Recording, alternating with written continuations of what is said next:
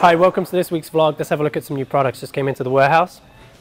Starting off with a new color in Nike's Vapor 4. So this look for this color to be worn by Federer at Wimbledon. It's got the white gold. You know, he likes to rock the gold at Wimbledon, so look for that.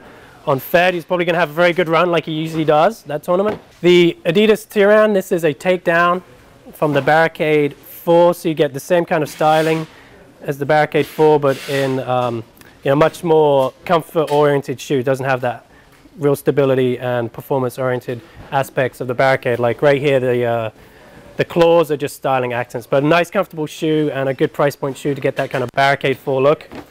And then two new colors in the CC Divine for ladies. This one has a little Swarovski crystal right here. So, you know, a little bit of bling on the shoe. It's a really lightweight shoe and um, really nice color here. This one will match any outfit. And then this one's got a bit more of a color pop with the orange. So if you want to, you know, brighten up your footwork, there you go. Really nice performance shoe. Let's have a look at some string. Just in from Signum Pro, we have a new color in the Hextreme. So this is a gear-shaped string. It's hexagonally shaped string. Uh, was before it was only available in orange. Now we have it in white.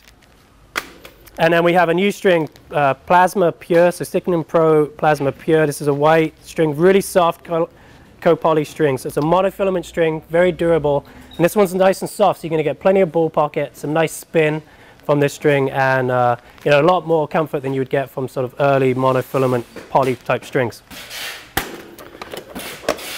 We've also got reels in those strings, so you go all the way from a you know fairly thick 1.28 through to a 1.18 millimeter gauge.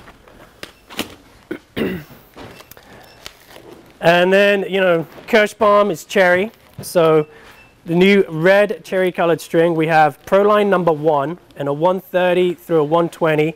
So it's a 16, 16L and then a 17 gauge in the string. This is a red version of their uh, copolyester. It plays a lot like a Super Smash Spiky, so it's nice and firm, a lot of control. And if you like that early kind of polyester feel, that's a great offering right there. And we've also got reels in that in 130 and 1.25 millimeters. And that's the Proline number one. Proline number two is a much softer string. So this is going to play a lot like the Kirschbaum P2. It's also in that red color um, not quite as translucent as the Proline number one. And this one's going to offer you a softer feel, a bit more ball pocket, but still very durable copolyester, monofilament. and we've got reels in that as well. 1.30, which is a 16 gauge, and then uh, a 1.25, which is about a 16 light. Sticking with Kirschbaum, uh, new reels, new gauge reels, with the Kirschbaum competition, I like this string. In fact, last two tournaments I won, I was actually using this string. And uh, it's got a nice firm feel, get a lot of spin out of the string, grips the ball really well, and a really great control string. So if you like to take a big rip at the ball, that's a good one. And then a softer version of the copolyester is P2, and we got a new gauge in the reel in that string right there. Hey, thanks man. Just in and now available uh, for pre-order and demo is Head's Microgel Radical Rackets. There's three of them. So you get the Mid Plus, which I'm holding. There's also an oversized, so it's the classic. And in a couple of years, Head started to introduce a heavier, more open string pattern version of their Radical. And the Microgel Radical Pro is that racket. And that's a little weightier than this Mid Plus, and it's also got a more open string pattern for the, for the guy that you know likes to feel and grip that you get with that.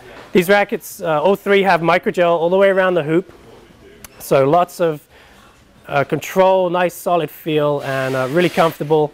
And we'll be playtesting these for a future review. So check out our review later on. That's all we got time for this week. Check back next week when we update our weekly vlog.